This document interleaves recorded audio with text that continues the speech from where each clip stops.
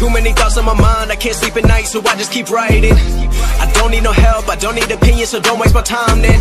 I just been living online, my city don't show me no loving. that's fine. Fuck local radio stations, I got more plays.